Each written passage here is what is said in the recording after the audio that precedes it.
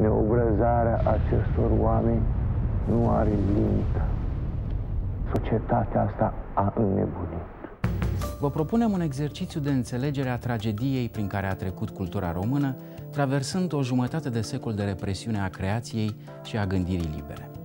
Împotriva uriașei mașinării a istoriei, împotriva lui Nicolae Ceaușescu, au existat romane, poezii, spectacole de teatru, filme, opere muzicale. Rezistența prin cultură, un serial realizat de TVR Cinema.